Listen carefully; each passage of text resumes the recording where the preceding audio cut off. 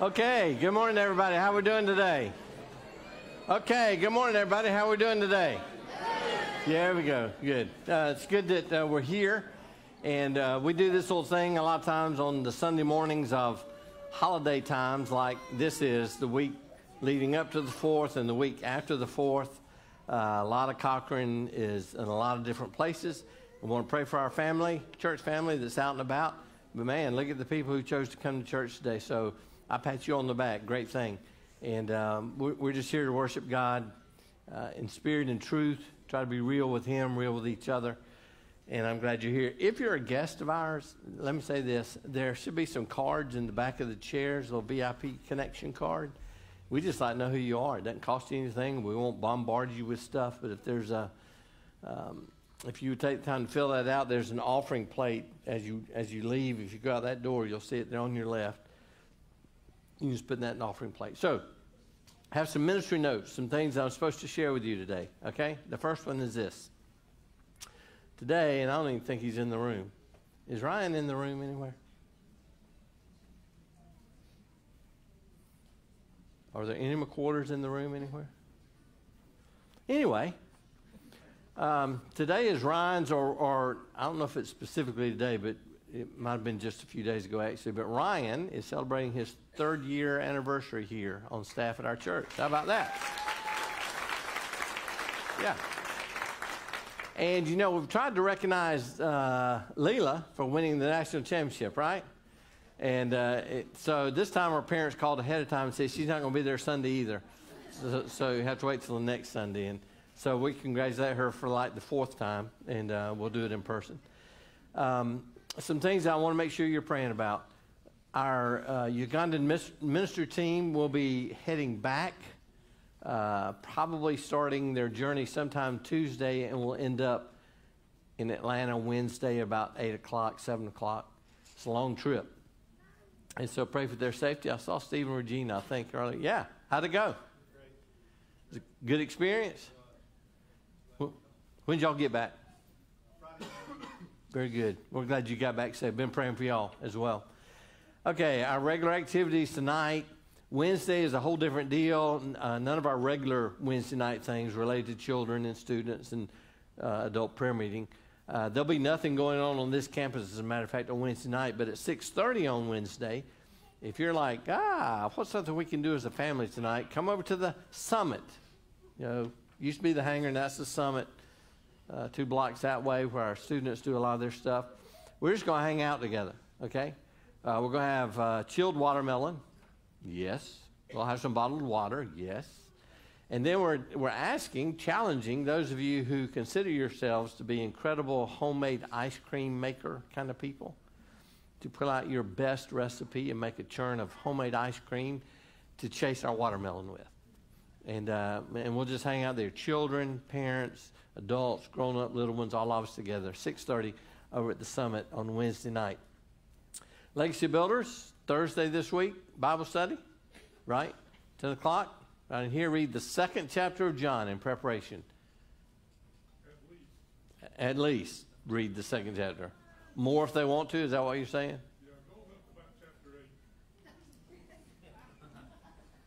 Okay, your homework just increased. Be familiar with John chapter 2 through chapter 8. And uh, join, join us on uh, Thursday morning for that study. And then July 13th, which is a week from Thursday, is our Legacy Builders Luncheon. Be right here in the fellowship hall. Invite you to that. Children's camp. Got some children be leaving uh, on Friday, uh, heading up to uh, heading over to Brewton-Parker College Central Kid Camp over there. Be in prayer for them. And then last thing I just want to mention on July the 20th, Okay, so that's uh, two weeks from this Thursday. On the 20th, we're going to be having the second of our marriage tune ups. Jeff and Beth Ford uh, will be here to lead that. They led the, the, the first one back in uh, May. Uh, it does require pre registration. Uh, there's also a meal provided. It's from 6 to 7.30 p.m., an hour and a half. Just working on our marriages and uh, looking at where we're at, what's going on, and from a biblical perspective. And you can register there it is right there. And if you have your phone, you can go. You can use that QR code right there and get to that registration, and be good to go for that. So there you go. Anything else? Anything I missed? Anything at all? Announcement needs to be made. Okay. So, man, I love it when people are walking the aisles to the altar before we even really get past announcements. That's, that's the power of the Spirit of God at work. It's good to see you here today. It's good to be together as God's people. And um, we gather not because we're people who have figured it all out. We, we're in here because it's a journey of faith, and we're learning, and we're learning together. And uh, if you're in here under the impression that we've all got it figured out, I'm sorry. We don't. Uh, but we love Jesus, and, and we want to worship him. So let's, let's pray together. Father God, we, we bow before you. You're beautiful. Father, you are incredible, beyond our words to express. Thank you for your love, and thank you for your mercy. Thank you for your grace. And God, thank you for, for who you are. Thank you for being you, so constant, always the same, full of justice. And it's in your presence we gather, and it's for your pleasure that we gather. And we ask your forgiveness if we've come in here kind of with a, hey, what can this service do for me, rather than considering ourselves an offering of worship to you. So, by your Holy Spirit working in us, your presence that surrounds us, would you give us freedom uh, here in these moments to, to, to worship? To worship in the way we fellowship, to worship in the way we sing, the way we study the Bible. Father, so that all that we do uh, just brings you glory and brings you pleasure, brings you honor. This we ask and pray in the strong name of Jesus Christ. Amen. All right, stand with us as we sing about how He is the King of our hearts. うん。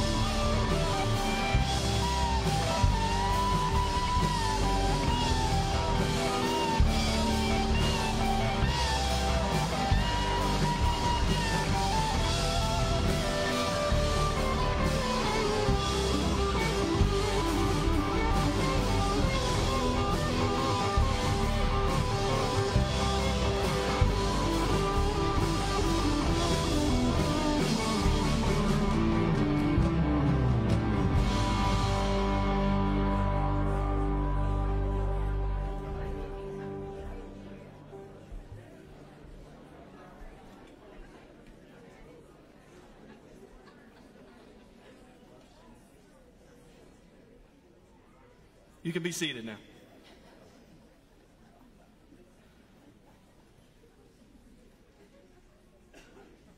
On, on the eve of our struggle for independence, a man who might have been one of the greatest among the founding fathers, Dr. Joseph Warren, president of the Massachusetts Congress, said to his fellow Americans, Our country is in danger, but not to be despaired of. On you depend the fortunes of America. You are to decide the important question which, upon which rests the happiness and the liberty of millions yet unborn. Act worthy of yourselves. Well, I believe we, the Americans of today, are ready to act worthy of ourselves. Ready to do what must be done to ensure happiness and liberty for ourselves, our children, and our children's children. From time to time, we've been tempted to believe that society has become too complex to be managed by self-rule, that government by an elite group is superior to government for, by, and of the people. We are a nation that has a government, not the other way around. And this makes us special among the nations of the earth. Our government has no power except that granted it by the people. It is made up of men and women who raise our food, patrol our streets, man our mines and factories, teach our children, keep our homes, and heal us when we're sick. Professionals, industrialists, shopkeepers, clerks, cabbies, and truck drivers. They are, in short, we the people. Their patriotism is quiet but deep. Their values sustain our national life. With the idealism and fair play which are the core of our system and our strength, we can have a strong and prosperous America at peace with itself and the world. So with all the creative energy at our command, let us begin an era of national renewal. Let us renew our determination, our courage, and our strength. And let us renew our faith and our hope. It is time for us to realize that we're too great a nation to limit ourselves to small dreams. We will again be the exemplar of freedom and a beacon of hope for those who do not now have freedom. We are a nation under God, and I believe God intended for us to be free.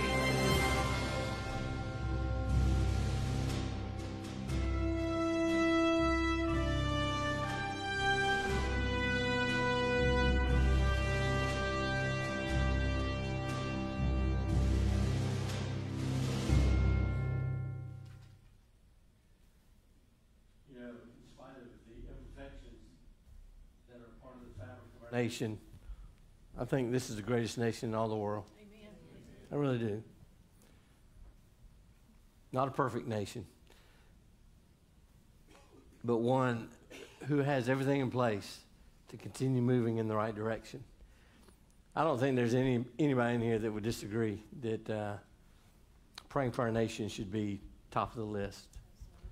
Um, praying for our, our national leaders, our state leaders, county, city. Just praying, um, praying for our nation. So that's what we're fixing to do. Okay. Now this is it. I want to. I want to ask: Is there someone here who would be willing to lead that prayer?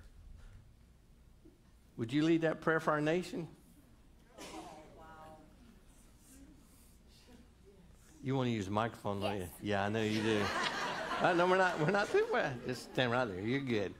Now, I want to invite um, everyone else. Uh, in just a second, I'll invite you to come up here and let's gather at the altar for this prayer. I think sometimes we need to kneel as we pray for our nation. Okay? And then, as, as you're leaving, and if you can't get right up here, then when the prayer's over, just kind of make your way. But there's, you'll see three little, three little buckets up here one down there in that corner here and here. And in this bucket is uh, something, this, this, this is such a simple little thing. These are little green army men. Who's ever seen a little green army man? Yeah, there you go, buddy. Boy, our children are enthusiastic today. You got one in your house. There you go. One of the things related to our nation that we need to be faithful to do, I believe, is to pray for our military to pray for the men and women who are standing for democracy around the world. Sometimes that's misdirected, yes. All in all, though, we stand for what's right, what's good. And more recently, uh, we see that much of what conflicts going on in the world outside our country is festering within our own. And so we, we're called to stand for freedom, but praying for those men and women, for their families that are left here, for their parents who are here, who are always in fear of that one phone call. So just taking one of these and putting it on your desk at work, on your dresser in the room, at, at your house, your bedroom, or some other place, just as a reminder when you see it, to just drop your head. Say, God, I want to pray for the men and women who are standing for freedom around the world. And so feel free to get one. If you have a child, help them get one and not a battalion uh, as they make their way back. So I want to invite you to stand up. Those who would come and gather here at the altar, we'll, we'll get in as close as we can. If you want to kneel, you can kneel. Come on, don't be shy. There you go. And uh, Miss Paisley is going to lead us in a prayer for our nation. Do you know the name of our nation? What is it? America. That's right. Yeah, just want to make sure we were clear on that. Yeah. Come on up. Come on up. And you can uh, join hands with somebody near you or just put your hand on their shoulder. Um, it's a cool thing. You ready for this, girl? Let's pray together. Lord, thank you for this day. Thank you that we can have a wonderful nation. Thank you for our home and a wonderful family. Amen. Amen. Amen. How about that? Grab you a little prayer reminder, one of those buckets right there, and um, make your way back to your seat. And I think our praise team.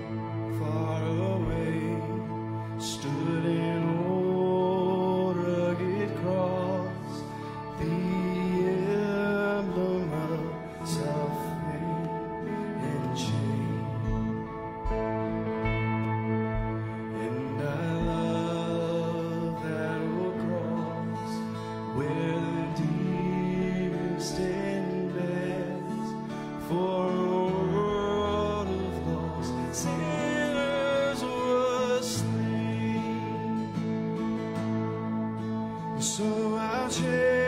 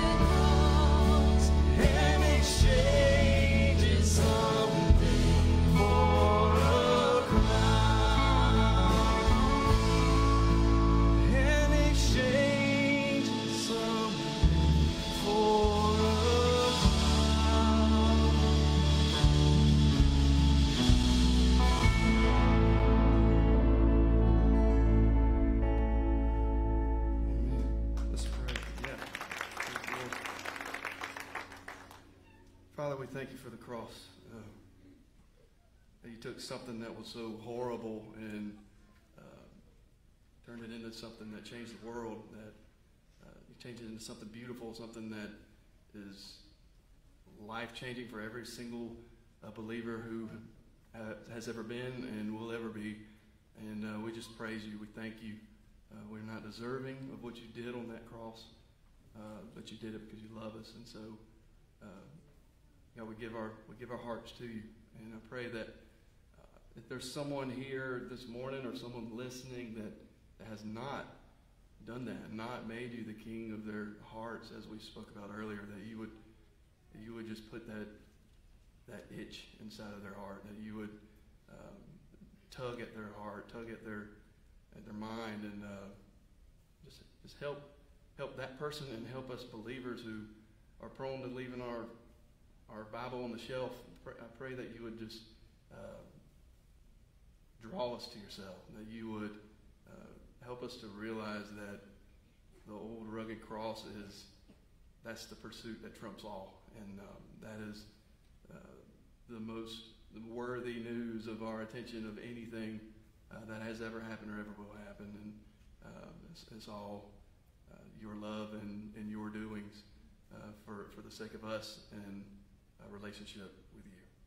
And uh, pray, we pray for PK as he comes and he just guides us in your word. I pray that you would uh, just just remove any distraction for him, that you would uh, clear his thoughts and, and fill them with uh, what you would have him uh, tell your people this morning. And it's in Jesus' name we pray. Amen.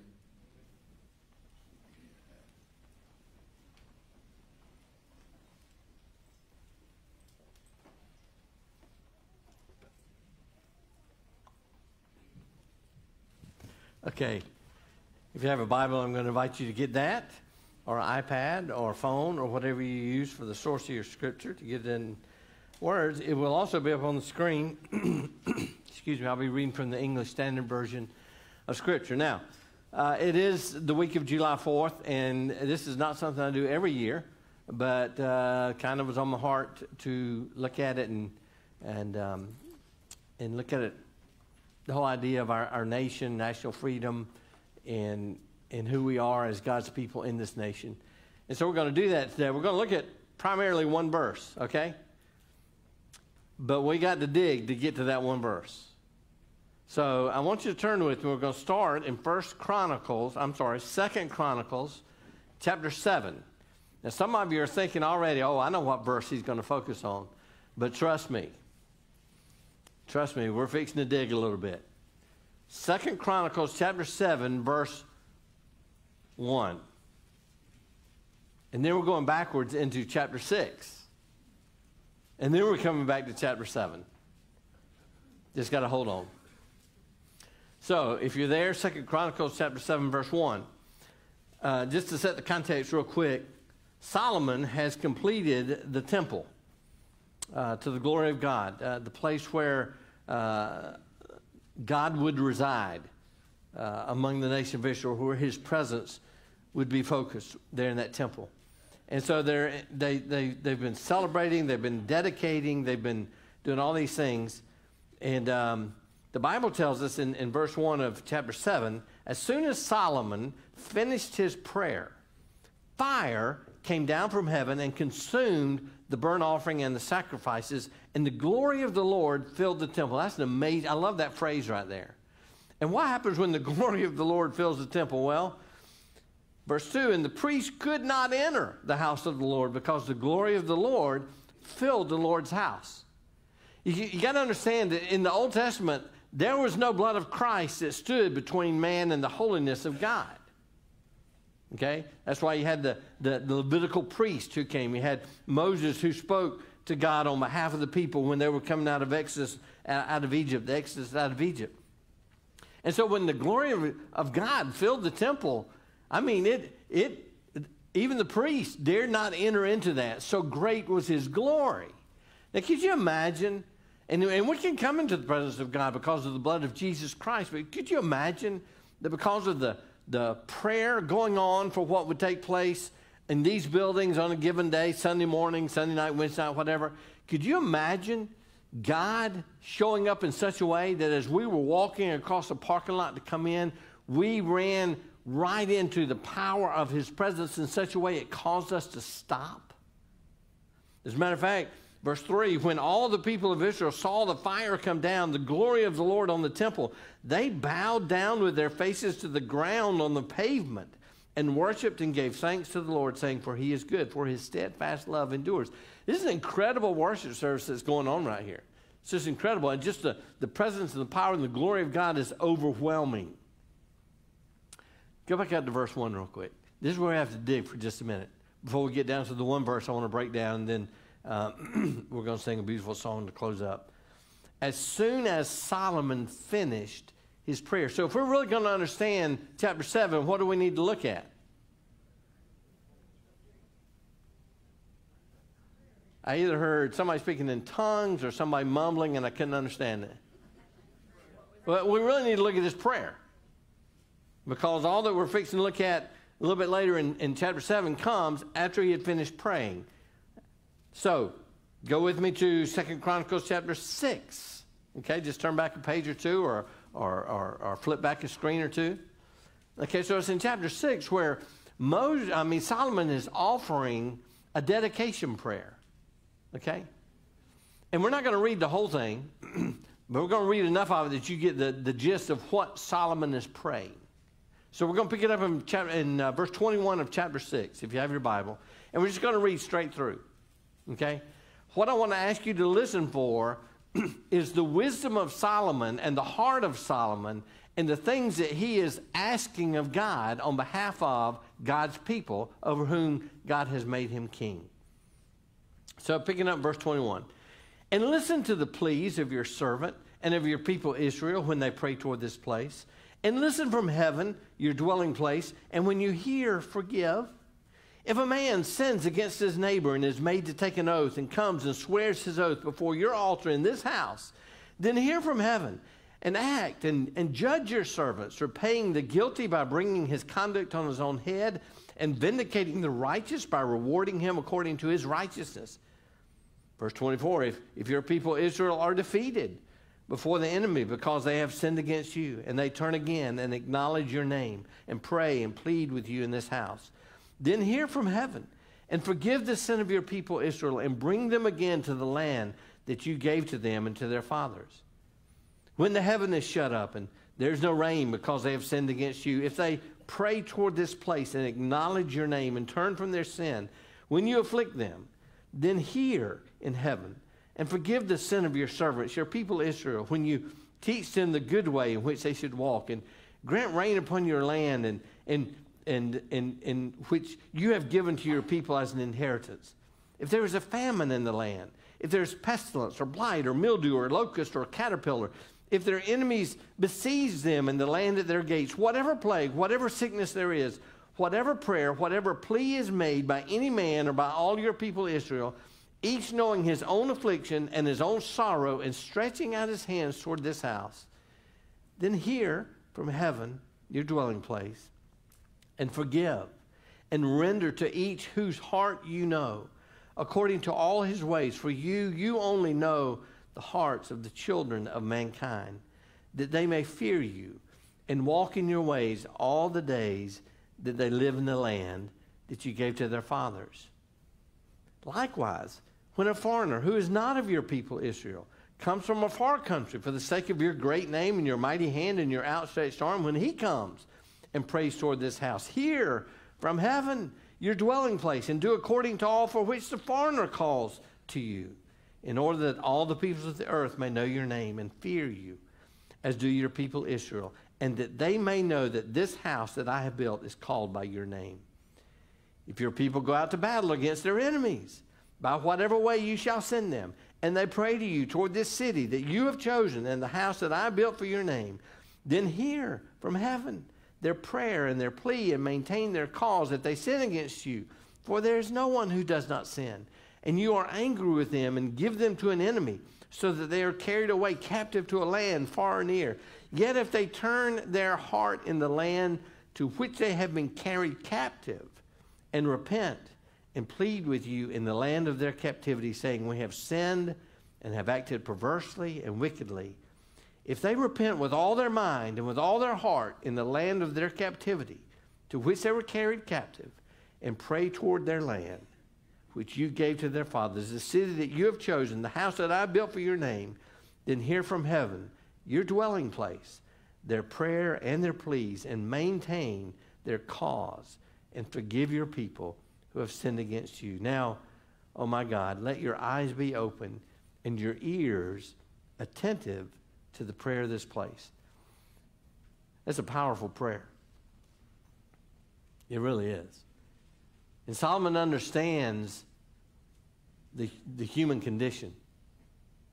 Solomon has some real insight into what we struggle with and, and the things that we fall into and the things that we, that we follow after that draw us away from God. He also understands the reality of living in a broken world and, and, and he understands that truly all things are related to the sovereignty of God. And, and so he just goes through and begins to name different things. If this, then God hear from heaven.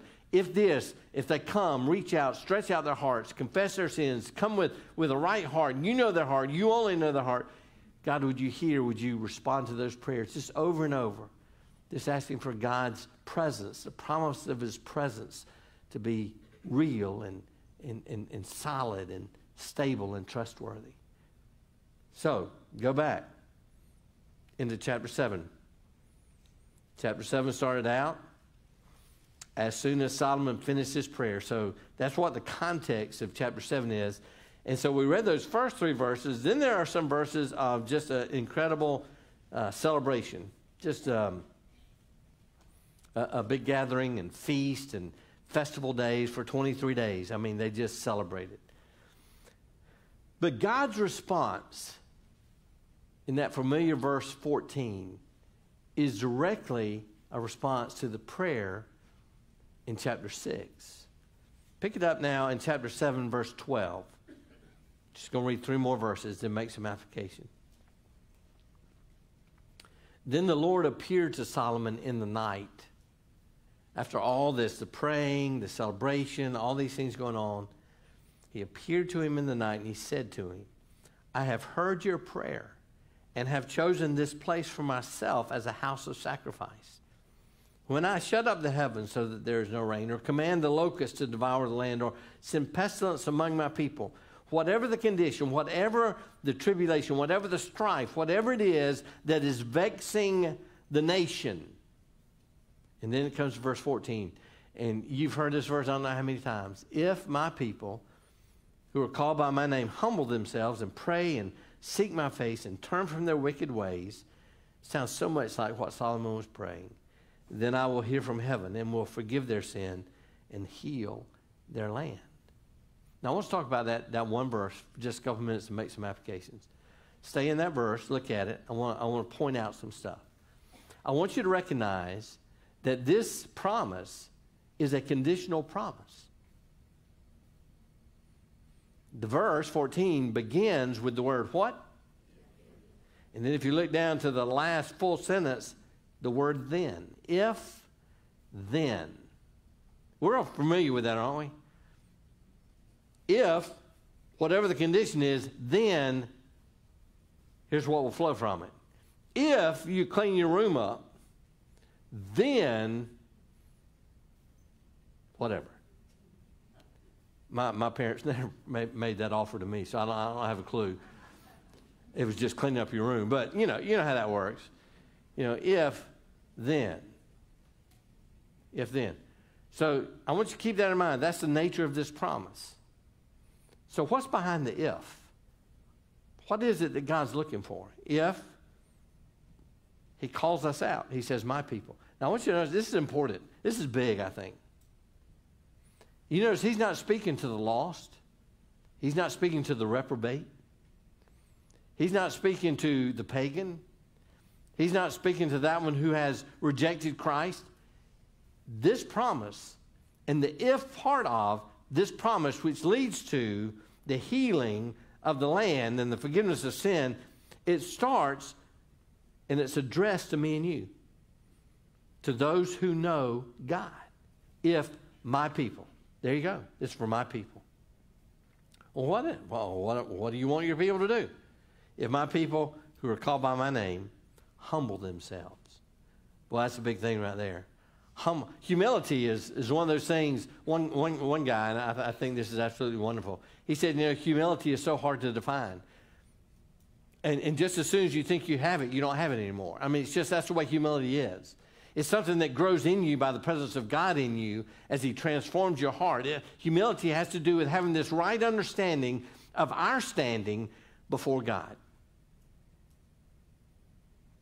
if my people are humble, they humble themselves, if they recognize their need of me, if they recognize how desperately situations get when they're walking out from under my shadow, if my people recognize that I am their God, holy, eternal, with, with, without stain, if they recognize their correct standing, if my people who are called by, my, by name humble themselves, Okay, and just in the humbling, there should flow out of that some things. And pray. Pray. Praying. Praying together. On Sunday nights, we're doing this thing where we're learning to pray together and pray for our nation. And, and it's, it's not something that comes natural. We're not really good at community prayer unless somebody's up on the stage leading it. Um, but, but allowing our hearts to follow the Holy Spirit and how, how can we pray and how can we witness to God through this prayer time? he says, if my people humble themselves and they pray and then seek my face, that's an action verb. That's the idea of it's not just prayer and getting up, it's prayer with a desire to bring pleasure to God, to seek His purposes, to seek His ways, to seek His heart, to seek after, to pursue, to chase after Him, and turn from their wicked ways. Isn't that interesting? A lot of times when I hear people praying for our country today, you know what they're praying for and who they're praying for? Who they're praying for? All those bad, bad people out there saying those bad, bad things. And man, God, if you would just straighten them out, our country would be great. God is speaking to Solomon, and then by way of Solomon to us, when he says you want to get your nation right, this let me tell you where it starts. My people. If my people, called by my name, humble themselves Pray, seek my face, and turn, repent. Turn from their wicked ways. Turn. Can you imagine that there are some ungodly things going on even among those who call the name of Christ? There are, if we're honest. I mean, we're, we're pretty sophisticated. We can hide a lot of it, especially the stuff that's just going on in our head. But God has called us to be absolutely exposed to Him in His presence, to be willing to, to be examined in detail by His holy presence, His Holy Spirit in us. And anything He shows, reveals, or convicts us of, laying it down and walking away from. That's what the whole idea of repentance is. And so, in this whole prayer for the nation, it's about my people. He doesn't even speak to those who are outside of that, those who have no relationship with God through Jesus Christ. He's speaking to those in relationship with God Himself, you humble yourself, pray, seek my face, turn from your wicked ways, then, then. So, what's God looking for? He's looking for people who are passionately pursuing what it means to walk in holiness with Him. Several times in the New Testament, Paul is writing, God speaking through Paul, and he makes a statement. He says, I pray that you have a walk worthy of your calling. Jesus, quoting the Old Testament, said, I want you to be holy because I am holy. That's our calling. To walk in a way worthy of being sons and daughters of God through the grace of Jesus Christ. So, but, but before we, you know, look around and really start wanting to direct our prayers at this group or that group or this individual or that individual or this political party or that political party, my friends, God kind of turns it around and says, You want your nation to receive healing? It starts with you. It starts with you humbling yourself, praying, seeking my face, turning from your wicked ways. Then, then what will He do? I'll hear from heaven. I'll forgive and I'll heal your land. If then, if then. One of the things that concerns me about our current church culture in America is that a lot of times I feel like churches are at least as concerned, if not more concerned, with being relevant to culture than they are with being pleasurable to Christ.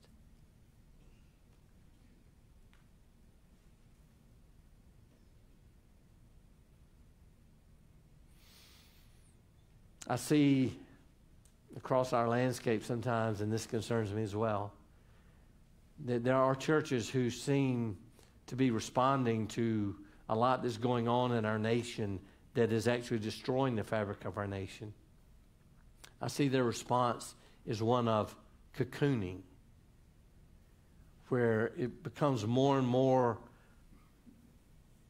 us inside this room.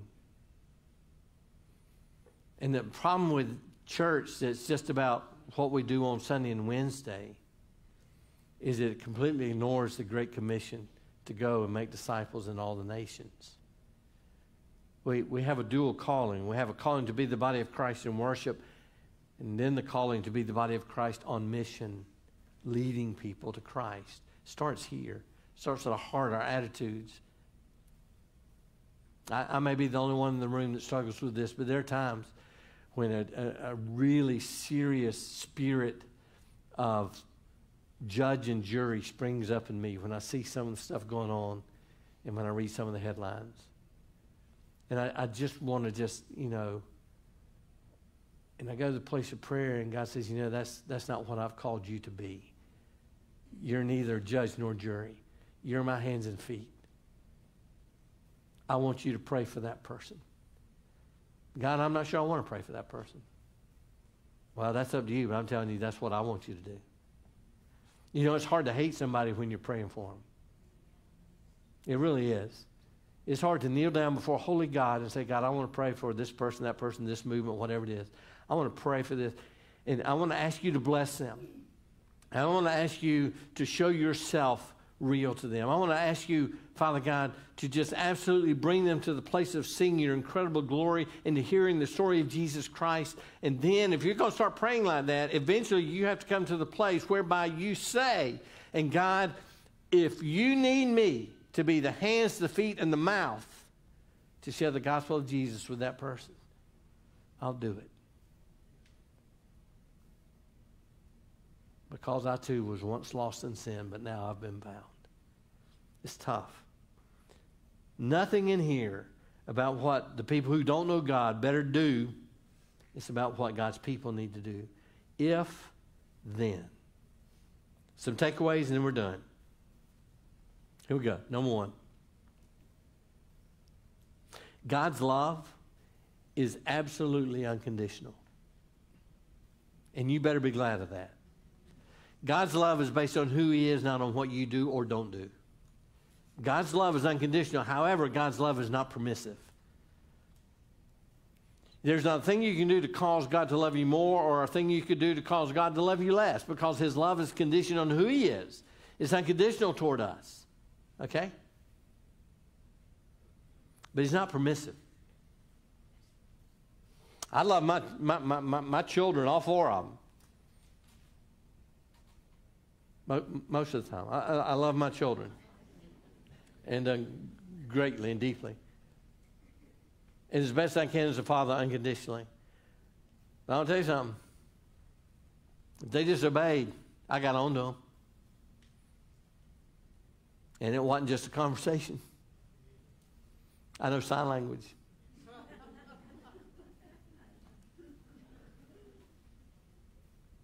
God's love is unconditional, but it's not permissive. So listen to what I'm fixing to say. The gift of salvation, the gift of salvation, it comes only through Jesus Christ.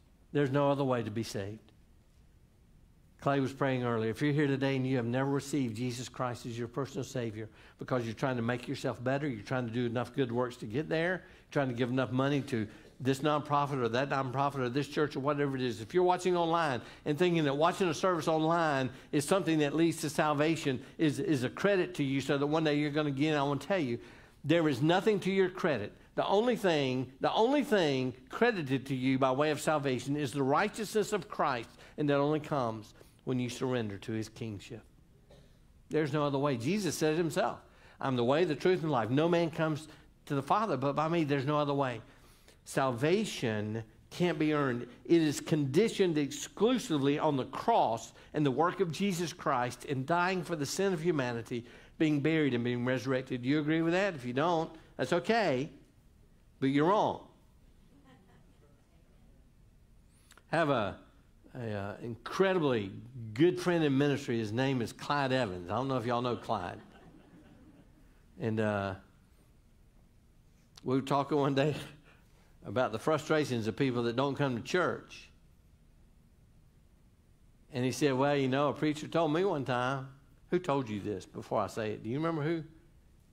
Eddie Middleton. Eddie Middleton told him one time, he said, Well, listen, brother, if people don't want to come to church, you got to let them. Think about that for a minute. If people don't want to come to church, you got to let them. Church doesn't mean a whole lot to somebody until their heart, and that's the work of the Holy Spirit, is turning them in that direction until they see Christ in you and Christ in your selflessness. Okay? And so salvation is based on, on the work of God completely, exclusively.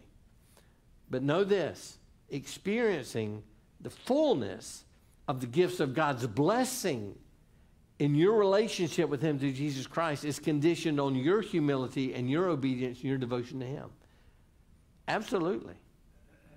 The more your heart is set on walking in obedience, the more your heart is set on the Word of God, the more your heart is to run from sin and to run toward holiness, the more you experience the fullness of the waterfall of God's blessing.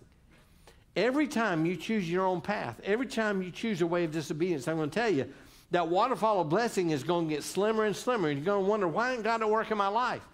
And God's over here saying, I, am right here. I do want to work in your life, but you chose to go over there. I really need you to humble down and get back over here. I got some stuff I want to pour into your life. Second thing I want to say is this. We, we, we read Solomon's prayer and we heard his heart in chapter 6, and we see God's response in chapter 7. And, we, and I, I just want you to know this. This is absolutely biblical. God wants to bless you. He does. What parent don't want to do good for their child? What, what parent doesn't want to pour into them and, and, and, and, and, see them grow and, and, and, and, and excel in whatever they're doing? God wants to bless. He wants to heal. He wants to protect. He wants to restore. That's, that's what he wants to do. It's in his nature to give extravagantly in his blessings to those who love and honor and respect him. And God will bless any nation where his people in that nation are pursuing his glory. We don't even have time to do it right now, but if you're wondering whether that statement is true or not, go look at the life of Joseph. Great day. He was in the foreign land of Egypt. He rose up and was put in charge of Potiphar's house and then his Potiphar's wife tried to mess things up. Turned out to be a good thing. Because then he ended up in Pharaoh's house and became second in all the land. And was there to God was at work, blessing. And then he blessed Egypt. Through his blessing on Joseph. Daniel, Daniel in captivity in a foreign land. And what did God do? He blessed the ministry of that young man because that young man had a heart that was set on God. The healing of a nation, this is number three takeaway. The healing of a nation does not begin with the lost getting saved, it begins with the saved passionately pursuing the holiness of God, which just happens to lead to the saving of the lost through the witness and the testimony of the church. See how that works? The Great Commission calling, making disciples in all the nations. It's, it's, it's just a beautiful promise. Second Chronicles 7.14. Now, there are some maybe in this room or watching online who are like, yeah, but Pastor, I think that promise is just for Israel. I'm sure, I, I think we're taking out of context when we, when we, well, I disagree. In Proverbs chapter 14, verse 34, the Bible tells us that righteousness exalts a nation, but sin is a reproach to any people. Righteousness exalts a nation. Israel, now listen, Israel was the land and the nation of God in the Old Testament. We're, we're good on that, right? The world is the land and the nation of God of all who call the name of Christ. Every nation in this world belongs to God. He is sovereign over all, not just Israel. And through Christ, this incredible relationship has been opened up to all who receive the gospel of Christ, who will recognize him as the Son of God who died on the cross. And so we become, in this nation, God's people right here. We're right here. Listen, I, I, I hesitate to throw this out because, you know, like, well, what's what? Um, does anybody in here ever watch any of the Marvel Cinematic Universe movies? Do we have any Marvel movie people in here? You know, the Avengers and uh, I can't think of all of them. Y'all are sitting there going, I don't know if I can admit that or not. Is it sinful? Are you facing the the altar? Well, there's uh, one, one of those characters in that, in that whole series of stuff is a guy named Thor, okay? He's kind of a puny guy. He's not very handsome, has a weird accent, and somehow they cast him in the role as Thor. And Thor is from a, a, fictional place. This is, this is Hollywood we're talking about. He's from a fictional place called Asgard. Who's ever heard of Asgard? Anybody in here? Oh, now I got some people who've seen these movies. It's like, okay, preacher's seen this. Okay. And so there, if you watch enough of it, you'll know there comes a point in the whole storytelling of that cinematic universe where Asgard is destroyed. It's absolutely destroyed. And, and, and, and, and, and Thor is just, he is, he's just absolutely broken because Asgard is gone. But in a conversation with his father, his father reminds him that Asgard is not a place, it's a people. Asgard can be ever, wherever the people of Asgard are gathered. I remember when I heard that the first time, I thought, man, that, that's it. The people of God, it's not a place, is, is, is wherever we're gathered. And so we become the nation of Christ meeting on this street corner. We become the people of God when we gather in a home to do a small group study. We are the people of God when we're at the rec department or at the Walmart or at Huddle House or wherever. We are the nation of God through Jesus Christ on mission right here in Bleckley County and the world around us. I really fully believe biblically speaking. That if then promise of Second Chronicles 7:14, it is still relevant today. So the great call for us, his people, is to humble down, pray, seek him with passion, turn from whatever unrighteousness we're flirting with, thinking about, messing with, practicing and come to Him. And His promise is then I'll bring healing. My spirit will break out. Gypsy Rose, who was an old school long time ago, uh, evangelist. And I'm going to ask our praise team to come on up. We're about ready to do our, our final song. Um, Gypsy Rose just, um, used to say this over and over when, when um, he would be leading a, a, an evangelistic series of meetings. But he, he would always have a, you know what a, you know what street chalk looks like? Big chunk of, chunk of chalk, not a little thin kind like you write on a chalkboard. Or used to write on a chalkboard. Anyway, he'd always have a big chunk of chalk, and he said, "I want us to, I want us to pray, pray for revival, pray for spiritual renewal, pray for humility, pray that we would come clean, pray that the people of God would pursue holiness, pray that God then would find a, uh, an instrument through which He could work to reach this city and to reach this nation and whatever it might be." He said, And how many of you will come and pray with me? He said, This is how I want you to pray. Then he would kneel down and he would take that piece of chalk and he would start and he would drag it this way and reach with his hand and he would drag it this way. He said, Who would come and draw their circle? And our prayer be, God, do a, do a mighty work and start inside this circle. That's what 714 is all about. God, here we are in the circle because we know that you address that promise to your people, if my people. God, I get so distracted because I just want, there's so many, I'm, you know, I'm, I'm judge and jury here. I'm just, I'm, I'm, I'm, I'm God, I got to quit that mess. I need you right here. Get me where I need to be so that I might be your instrument in the healing of this land. So we're going to stand up and we're going to sing a song. And um, you, you may feel the need to come to this altar and, and pray. Maybe you're here today and you're like, you know, I have never made a public profession of faith in Christ. What a great day to do that, to find your spiritual freedom in Christ who died for you. Maybe God's put it in your heart to join with the fellowship of this church and you're ready to take that step of faith. I have no idea. Maybe some other thing. But the altar is always open. I'll kind of be standing somewhere. We have some other people in here. Be glad to pray with you and talk with you as well.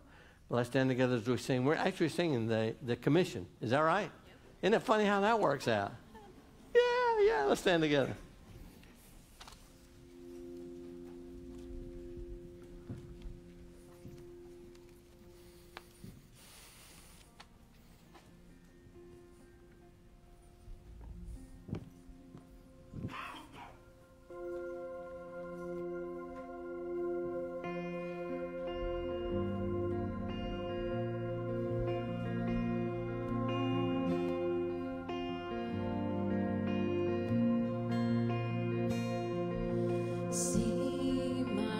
Hands, look at my feet. It's okay if it's hard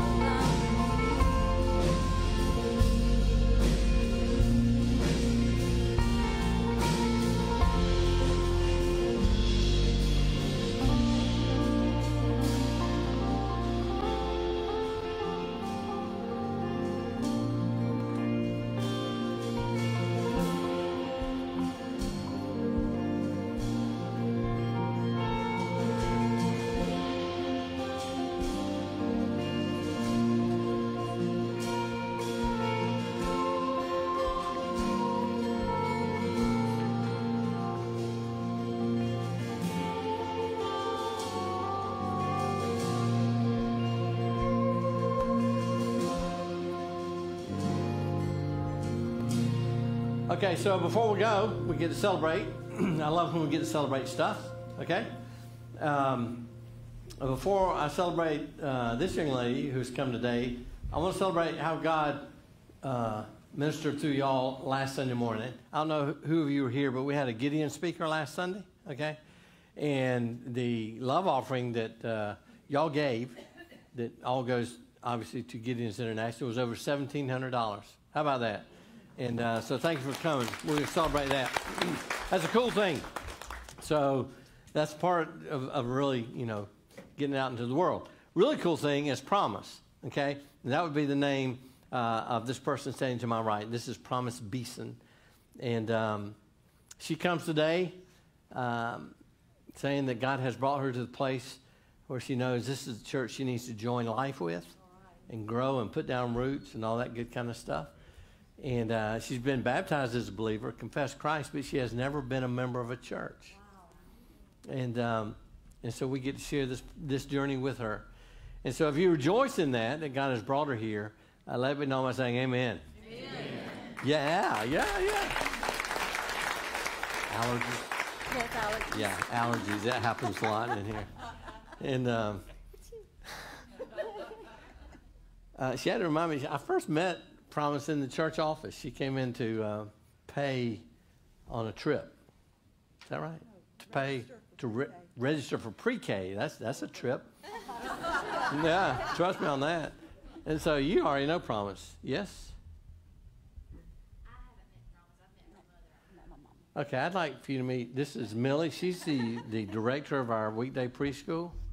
And um, so that's her right there. Okay. so that's good. Would, would you take her back here to the back so that people can say, do you mind with that? People just want to meet you. And, I love people. yeah, we love people too. Thank you, Vicki. Take her on back there. That's exciting. It's exciting to see God, how He's working, different ways He's working. And uh, thank you to our praise team. Uh, hope you had a good month off. Um, but uh, glad to have you back on the stage. Most, of, yeah, yeah, all of you on the stage. Yeah, that's good. All right, Father God, we love you today, and even as we leave this place, we, we want to leave very much aware of the fact that our, our life every day is an offering to you. Father, teach us what it means to live that way, to live with the thought that in all that we say and all that we do, the way we speak and the way we act and the way we react, that Father, it's, it's all an offering to you. Teach us, teach us to be very, very sensitive to your Holy Spirit. Give us that faith to trust your leading, to trust those nudges that you bring into our life. Father, I thank you for bringing promise uh, into uh, the family of believers that meet on this street corner. I pray that, uh, that you would help us to nurture her in her faith. And I, Father, I pray you would uh, lead her into that place or area of ministry where she can be involved in all that's going on in your kingdom right here. We love you today, and it's in Jesus' name I pray. Amen. Happy Fourth. Go get them.